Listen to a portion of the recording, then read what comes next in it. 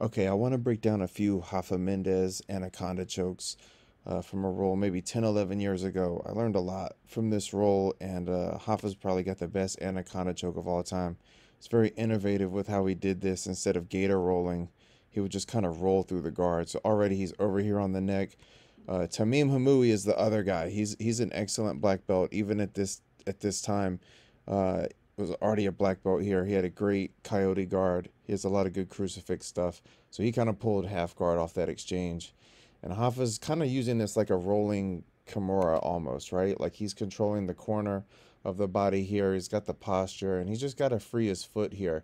And what Rafa did that was so innovative was he would try to clear the guard instead of conventionally pass through it and then just use his inner thigh here to trap on top of this elbow to kind of deepen uh, the arm trap, make the choke deeper, and get a little bit of a pin on it as well. So your watch this foot is going to end up coming through, really keeping the chest glued to like the shoulders right there. There you can see the leg come on top, right? Tamim tries to get on top there, but the grip is pretty set. Couldn't tell there from this angle if a leg was trapped or not on that. Um, getting a leg trap obviously makes it a little deeper. But a lot of times, if you have a good bite over the arm, it doesn't really matter. right here, if you look, this is just such a great way to overhook. A lot of people they'll hug up on on the other person's arm, and really keeping like pouring out a cup of coffee is what I call this. Um, and this is just like a great way to distribute weight through their their their arm and their shoulder, and to kind of kill the power of that underhook. So Rafa may try to all right, almost like a back step rolling Kimura there. Um, yeah, a little hip heist. Getting up. I don't know if he's going to roll him overhead or front flip himself. Right? Once you get that front headlock, though, you can go either way. You can roll over the top or roll them over the top. So it's the exact same situation here. He's just got to free this leg. Boom. He's kind of freed it. It looks like he's on top of the arm already, but just trying to get the grip deep enough. He said it. Now, uh, right here. Tamim's doing an excellent job of like putting his palms together to press and try to open uh, open up his elbow. That's going to pull his shoulder away from the side of his neck, make it harder to get choked. So Rafa's going to probably, yeah, he's re-engaging that leg there. And you can see, you know, with that coverage, there's so much you can, it's, it's even almost a leg triangle right here. It's just so much coverage. it's going to make it really hard to to get out of that.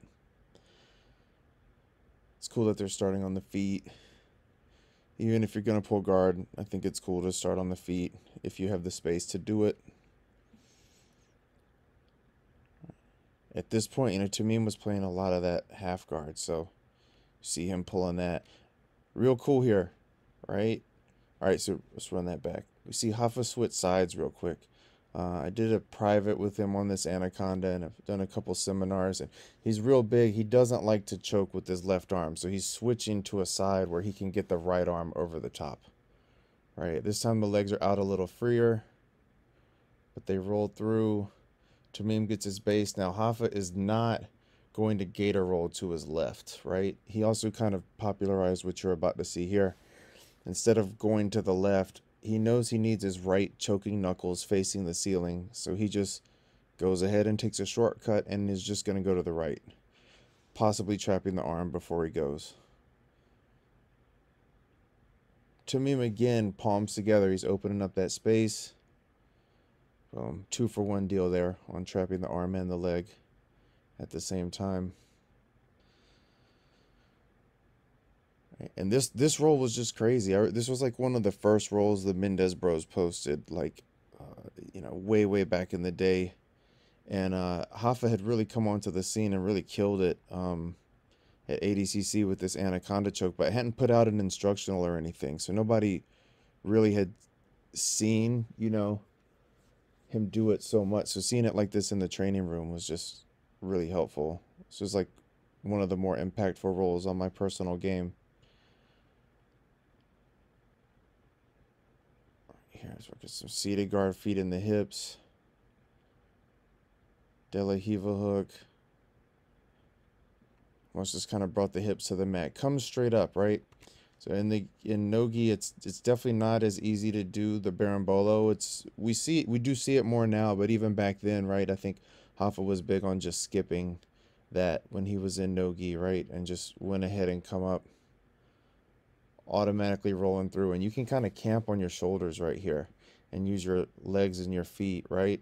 If you look, Tamim is definitely up on what's going on right now, and he brings his right elbow in close to the ribs, right, because he doesn't want it to get pulled away. So Rafa's on the shoulders using his heels to peel that elbow out. I don't know if it's Anaconda number three or four, but I think there's like four or five in this roll. I don't know. We might see another one. We might not, but I'll keep it going. See what we see. More stuff on the feet. Rafa love those feet on the hip. Butterfly guard. Almost like elevating to a single leg X Ashi kind of game. De La Riva hook. Boom. And that's unintentional berimbolo. Let's run that back, right? If someone has a De La Riva guard on you, right here, and if you roll for a toe hold against this free leg, if they roll across their shoulders, boom, this is a berimbolo position right here. Rafa's going to either take the back or come up on a leg drag here. I can't remember. Okay, so kind of crab ride. Okay, and he's just coming up for the leg drag. And since both the knees are pointing away, he's got good back exposure. If he beats inside that elbow, yeah, right here. So once he's on top, right, he's got to get his bicep inside that elbow. Once it's between that elbow and the torso, boom, right there, it's going to be a good back take. Chair sit, fundamental movement, you've got to know it. Me see like a rear naked choke or an arm lock here. Rafa did those arm locks from the back all the time. That kind of looked like a shoulder lock. Couldn't really see that well from this angle. The round is about over. There's probably not another anaconda. Let's see. Okay, another half guard pull. Okay, maybe from here, right? Pinning that wrist, trying to force the wrestle up, jumping on it. Time's going to run out, though, I think, before he can free that leg. Yeah. Yeah, so that's it. You know, really, really great, uh, great video back in the day for, for trying to dissect and, and figure out what Rafa was doing with those anaconda chokes.